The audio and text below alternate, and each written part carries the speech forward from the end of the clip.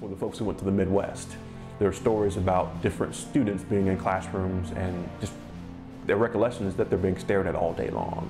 Um, and this one little girl who is now a grown girl, um, she tells a story about, you know, I've been stared at all day, I just got tired of it. So I asked, like, why are you staring at me? And then the reply was, you're the first black person I've ever seen before.